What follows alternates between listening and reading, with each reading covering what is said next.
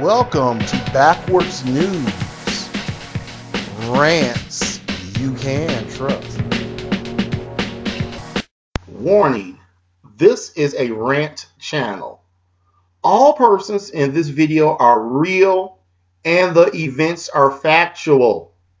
Satirical speech may be used to comment and criticize on subjects. Hello, hello. Welcome to Al's Backwards News, where all the stories are backwards. All right, we got a mother, a mother that wants justice. It's too much shooting. It's too much shooting out there. We got to, y'all need to cut it out. Y'all need to cut it out. We in Chicago. We have a Mr. Jaleel Spencer, 32 years old. He was shot. His mother is, he, this is four or five months ago, back in March. He was shot to death. His mother wants justice. And she knows who the killer is.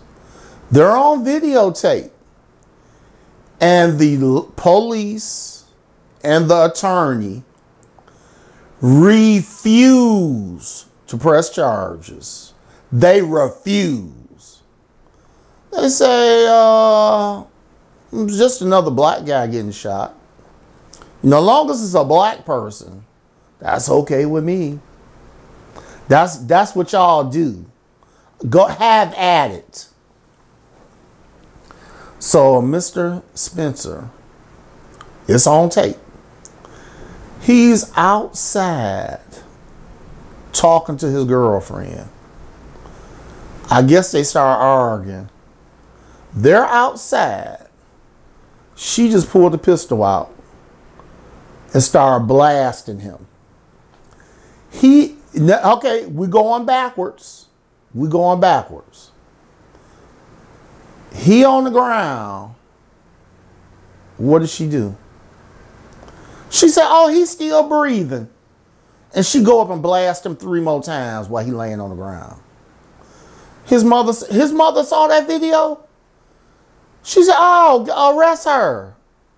We refuse. We refuse. That's his girlfriend, and that's her right. That's her right to shoot her boyfriend. It's domestic violence. And we refuse. We tired of uh, getting in people business. But so so here we go.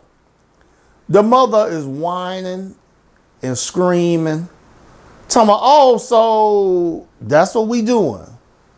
That's what we doing when you can shoot your husband and girlfriend and then you don't have to go to jail.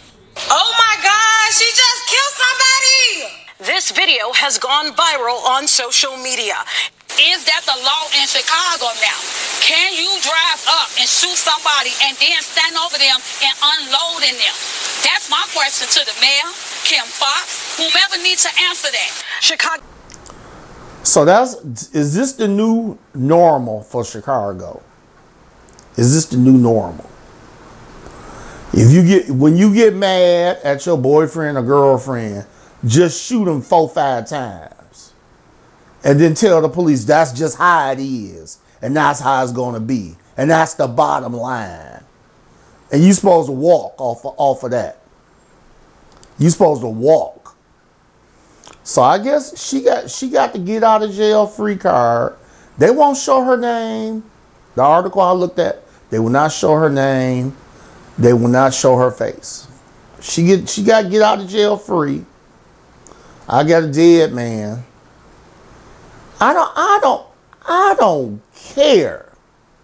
Chicago, y'all, er, we all need to stop this fucking shooting. We shooting people over cheeseburgers, shooting people over hot dogs. On the videotape, his girlfriend wasn't fighting anybody. She wasn't getting slapped or punched. They was talking and she just pulled the gun out started blasting. So I don't know what's wrong with y'all. Why don't y'all? You know, the best thing is to go go buy a hot dog at someplace else. and go get a cheeseburger someplace else and get you a new man. Get you a new woman. Your woman talking crap, block her. Don't sit up there. Well, uh, on my grandmama name. Oh, my grandmama. Oh, uh, nah, don't start all that mess. Go, put your, get your hand off your pistol. Put your, put your hand in your pocket and leave. Walk away.